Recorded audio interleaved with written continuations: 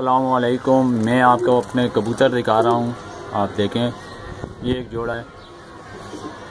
और एक जोड़ा ये रहा।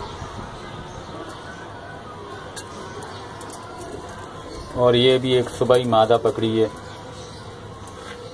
और इसके अलावा ये रहे जी। ये देखें ये देखें।